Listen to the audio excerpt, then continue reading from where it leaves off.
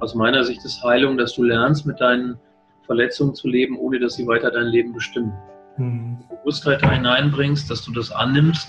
Und es ist im Übrigen auch wahrscheinlich ein unvermeidlicher Schritt, damit du selber dein Mitgefühl entwickelst, weil du dann irgendwann anfängst, auch die anderen Menschen, die anderen Männer, die anderen Frauen mit diesem Blick zu betrachten, dass du weißt, die bringen ihre Verletzungen mit, die bringen sie zum Beispiel mit in die Beziehung. Und da fängt dann auch vielleicht der Weg an, wo du, äh, jetzt mal um auf Beziehungen zu sprechen zu kommen, du einen ähm, Raum schaffen kannst, wo du nicht erfüllen musst, was vielleicht an kindlichen Anteilen deine Frau von dir will, aber dass du Ja sagst dazu, dass sie auch ihre, ihre, ihren Weg, ihren Heilungsweg gehen darf und du weißt, was ihre Punkte sind und ihre Schwachpunkte, ihre, ihre Schwierigkeiten und bereit bist, sie da zu unterstützen.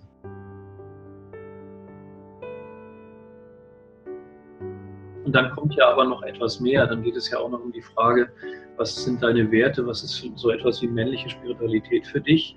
Und am Ende heißt ja eigentlich die Frage, wie stellst du deine Gaben oder das, was du an Potenzial entfaltest, das eigentlich sozusagen der Welt zur Verfügung? Weil ich glaube, dass das letztendlich die Sehnsucht von Männern wie Frauen ist, aber definitiv von uns Männern ein Thema ist, das wir angehen müssen ist natürlich hilfreich, wenn die Frau wirklich versteht, dass der Mann ein Stück weit seinen eigenen Weg gehen muss und dass er auch, ähm, dass er einfach unter Männer gehen muss, um seine Themen zu bearbeiten und dass, dass er dafür dann mal aus dem Haus geht für eine ganze Weile.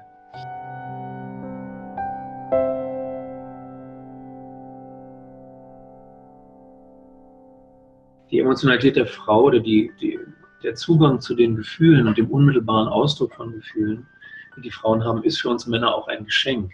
Es ist auch manchmal absolut notwendig, dass wir vor diese Wand laufen oder mhm. dass die Droge um uns, über uns drüber schwappt, weil es sonst so einfach wäre, sich vor die Sportschau zu setzen, sage ich mal. Mhm. Das ist ja auch eine Not, genauso wie das, was, was die Diana Richardson Entladungssex nennt, letztendlich auch aus einer Not der Männer kommt.